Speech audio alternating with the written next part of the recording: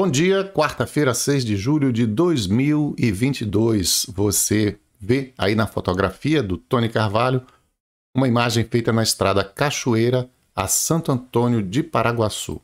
Tony Carvalho é um fotógrafo de Valente, região cisaleira, e cujas fotos nos servirão aqui de fundo por um tempo. Eu agradeço ao Tony Carvalho a sessão dessas imagens. E vamos começar o programa de hoje mostrando as fotos, ou as fotos, não, as, as manchetes dos jornais, as capas dos jornais pelo país. Começando pelo Jornal de Salvador, Jornal à Tarde, que registra o avanço da Covid. Bahia ultrapassa os 15 mil registros ativos de Covid. Em um só dia foram encontradas 2.047 novas infecções. O total já chega a 15.159 e com essas com esse novo avanço da doença, algumas cidades já estão voltando a exigir máscaras, pelo menos em alguns lugares. Maracás, centro-sul baiano, tinha um caso um mês atrás, agora chegou a 94. Para uma cidade pequena, já é um número que preocupa. Então, desde ontem, o decreto da prefeitura passou a exigir o uso de máscaras nas escolas. Em Jaguaquara, no Vale do Jiquiriçá, aí já mais já mais perto da capital, a exigência do uso de máscaras em ambientes escolares e nas unidades de saúde também está vigorando desde segunda-feira. Sem contar o caso de Guanambi, que segunda-feira seria o dia da volta às aulas, que não ocorreu porque a cidade teve uma explosão de novos casos de, de Covid. No jornal Correio, tem aí a pipoca da Ivete, mas não é a manchete, não. É apenas fazendo uma divulgação do programa da, da Ivete, que vai estrear na Globo. Mas a manchete é: acidentes nas rodovias federais baianas crescem quase o dobro deste ano. Manchete do jornal Correio de Salvador.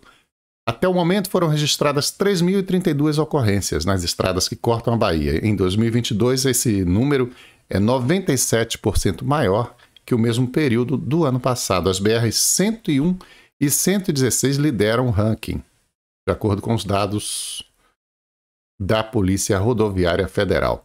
E aqui eu tenho inclusive um testemunho recente para dar, porque vim no mês passado do Rio de Janeiro para a Feira de Santana dirigindo e é assombrosa a condição da BR-101. Como é também da BR-116, que eu na qual eu fiz o trajeto na direção oposta é, anteriormente. Essas estradas cortam o Brasil de norte a sul, lá do lá, Fortaleza até Porto Alegre, sabe? E nenhum governo, entra governo, sai governo, entra governo, sai governo, eles não fazem duplicação dessas estradas essenciais para o país. Você anda devagar, ou você não tem pontos de ultrapassagem, os riscos são muito grandes, os acidentes ocorrem aí e há os prejuízos, os prejuízos econômicos também, né? Os prejuízos econômicos são notórios. Porém, acima de tudo, há perda de vidas, porque nossos sucessivos governos federais não são capazes de realizar sequer uma duplicação de rodovias essenciais para a economia nacional essenciais para o trânsito de cargas e de pessoas entre as diversas regiões do país. É, é muito triste, realmente, como é ruim a prestação de serviço do poder público no Brasil.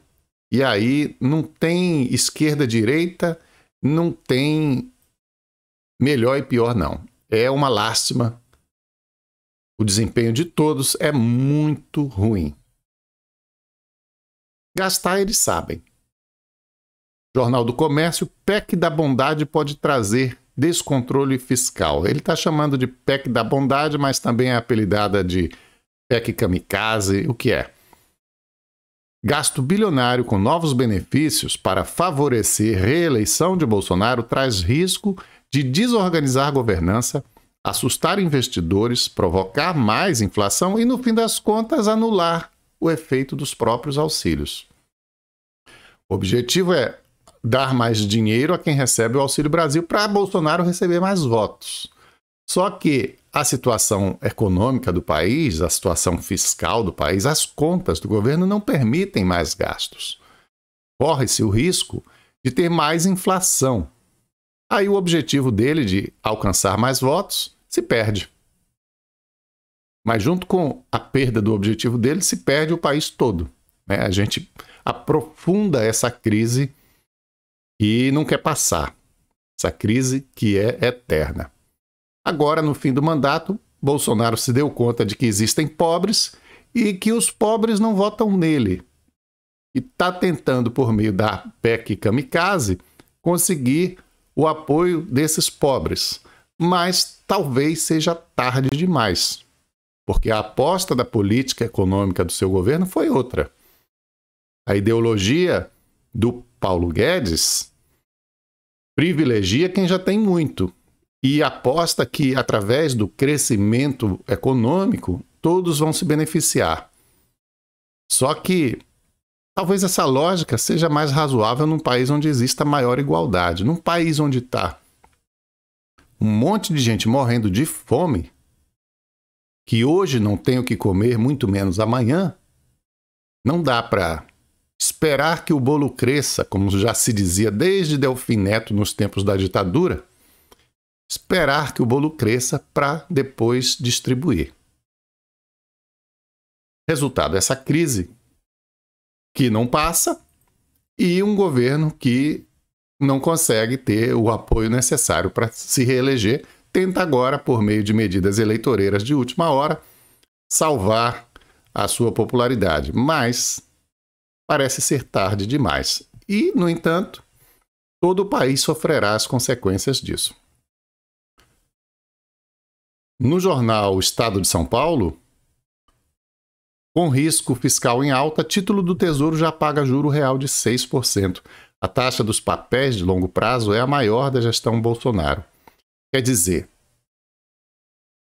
fica mais caro para o governo se financiar por conta desse déficit aumentado aí pela gestão Paulo Guedes Bolsonaro.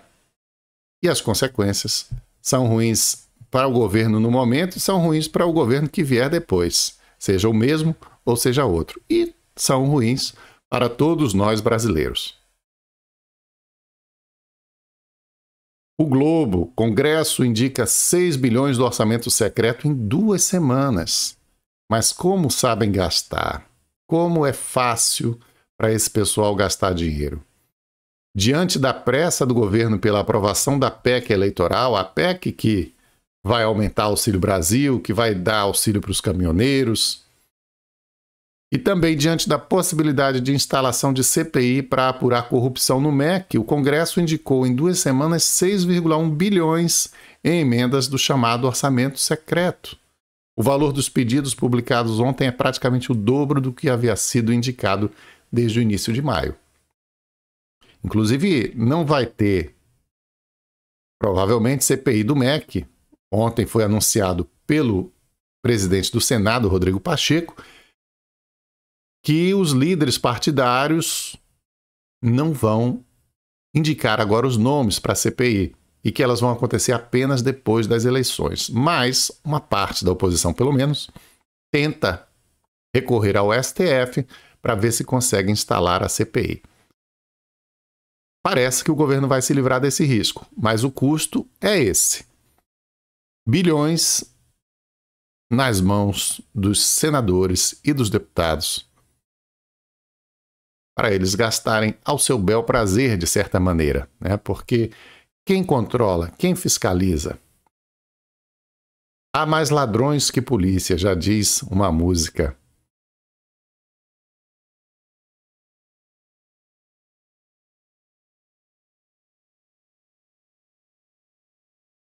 E, por fim, na Folha de São Paulo, líderes do Senado. Na Folha de São Paulo, líderes do Senado seguram CPI do MEC para depois da eleição. Os parlamentares dizem que o adiamento evita contaminação eleitoral da comissão. E a oposição fala em recorrer ao STF. É uma graça, é uma comédia, nossa, nossa política. O governador Rui Costa finalmente cedeu à pressão e resolveu aceitar a realidade. Rui decreta redução de alíquota do ICMS em adequação à lei aprovada no Congresso. Veja você. O governador Rui Costa vinha teimando aí, e mesmo após finalmente assinar o decreto baixando o ICMS sobre os combustíveis na Bahia, ele continua dizendo: é uma medida eleitoreira que não vai dar certo. Ok. Mas o preço da gasolina, o preço do combustível, tem baixado por conta dessa pressão aí que foi feita sobre os governadores para que reduzissem o ICMS. Governadores e prefeitos estão insatisfeitos porque suas verbas, suas receitas serão reduzidas. Alegam que haverá prejuízo à saúde e educação, e eu não duvido. O problema é o seguinte: o, a população, o eleitor, o povo está sentindo no bolso hoje a pressão dos custos de colocar combustível, de colocar gasolina no carro. Enquanto que a saúde e a educação não prestam como não prestavam antes. É um serviço que os governos diversos não têm muito como defender. Dizer, poxa, vai acabar com a nossa educação. Mas a educação já está acabada. Vai destruir a nossa saúde, mas a saúde já está destruída. Então o sujeito está sentindo no bolso doer por conta do preço alto dos combustíveis, ele quer que os governadores baixem sim o ICMS para ver se cai um pouquinho o preço do combustível e para ver se esse preço do combustível elevado não afeta outras áreas e aí provoca inflação. É isso que tem ocorrido. Então as pessoas realmente pressionaram e você vê que já quase todos os governadores, em função, apesar da resistência inicial, agora aderiram à nova lei e estão decretando redução de alíquota de ICMS para se adequar à lei que estabeleceu um teto e o valor igual para todos.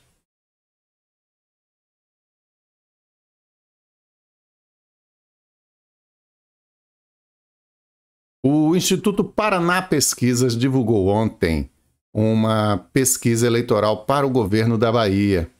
E o dado mais relevante que me chama a atenção nessa pesquisa, pesquisa, atenção, olha, 1.640 pessoas ouvidas em 72 municípios e o período 30 de junho a 4 de julho. Ontem o resultado foi divulgado, dia 5 de julho. E o mais relevante que me parece nessa pesquisa é o seguinte: a maioria das pessoas não escolheu ainda seu candidato. Vamos olhar aqui, esse é o, é o arquivo divulgado pelo Paraná Pesquisas, aqui o PDF. Isso quando se trata da pesquisa espontânea, em que não se oferecem os nomes e o entrevistador apenas pergunta em quem você vai votar para governador, sem oferecer um nome. 56% diz que não sabe e não respondeu. Alguns já dizem que não vão votar em ninguém. Chega a 7%. A CM Neto tem uma grande vantagem aí, porque ele tem quase 24%, 23,7% é mais que o triplo do Jerônimo Rodrigues, candidato da situação do PT, que tem 7%.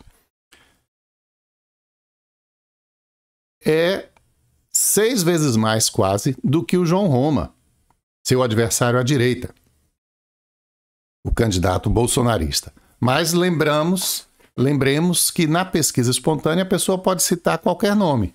Citaram até o nome do Rui Costa. Pouco mais de 1% dos entrevistados Diz que vota em Rui Costa. Só que o Rui Costa não é candidato nem pode ser. O candidato do PSOL também foi mencionado, alguns outros nomes foram mencionados, mas sem relevância para constar aqui o número ou o nome deles. Então, esse dado mostra muito claramente que as pessoas não escolheram seus candidatos ainda. Há uma vantagem nítida, uma vantagem evidente de ACM Neto, claro Ele tem mais que o dobro das menções. Inclusive, é importante observar e ele melhorou de situação. O número de pessoas, o Paraná Pesquisas fez um comparativo com a pesquisa feita em abril. O número de pessoas de lá para cá que disse não saber ou não saber em quem votar caiu de 59 para 56. O ACM Neto subiu de quase 21 para quase 24. O Jerônimo Rodrigues subiu pouco, de estava chegando em 6, agora ele tem 7. Isso, olha, é abril, de abril para junho, passou abril, maio, junho. Tinha que ter crescido mais para ameaçar a CM Neto. E João Roma também cresceu muito pouco, de 3,8 para 4,5.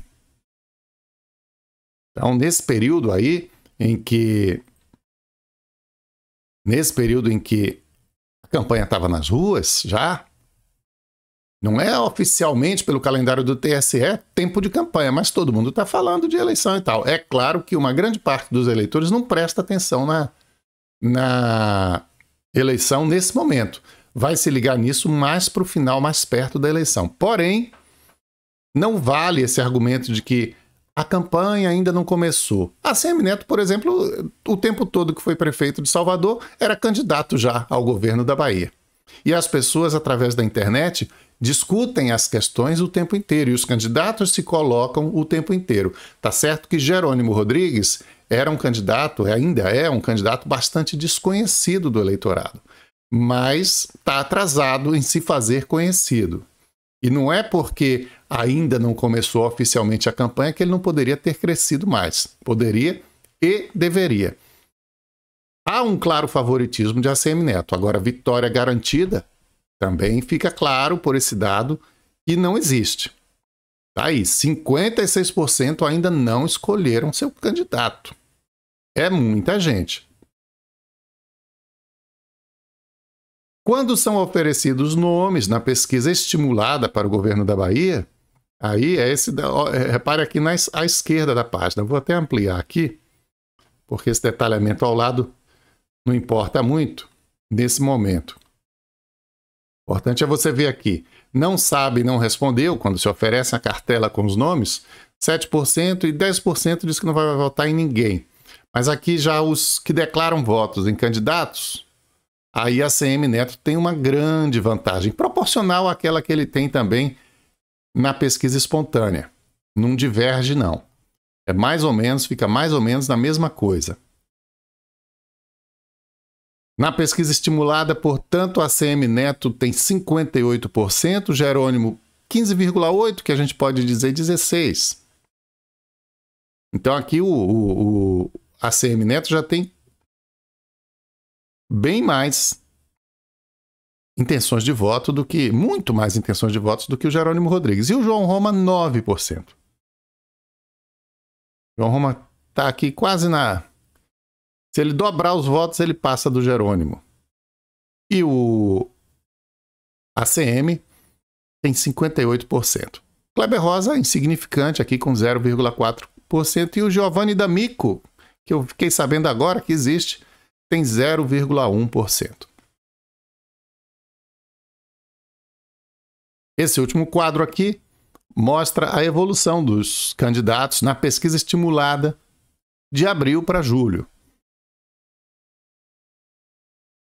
Deixa eu tirar a minha carinha daqui para não atrapalhar a imagem. Então a tabela mostra que a CM Neto subiu de 55 para 58. Jerônimo Rodrigues, aí é que está. Olha a situação do Jerônimo Rodrigues, apresenta uma pequena queda. Quando ele precisa crescer. De 16 passou para 16,1 para 15,8. Então são só 3 décimos. Mas, para quem está precisando subir muito para alcançar o líder, é um desempenho sofrível. E o João Roma, de 10 para 9, 10,1, 9,1. Situação também bastante incômoda do João Roma. E o quadro não oferece boas perspectivas, sobretudo para ele, porque a direita já tem um outro candidato, que é a CM Neto. O resumo da ópera é o seguinte: ninguém pode dormir, ninguém pode descansar, ninguém pode se considerar eleito.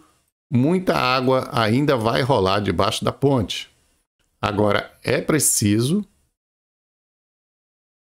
que quem está na frente cuide de trabalhar para não achar que, igual a, fábula do coelho e da tartaruga, né? Não achar que está ganho. E quem está atrás tem que correr muito, porque está muito atrás. Mas resultado definido, apesar de nós estarmos em julho, não temos ainda.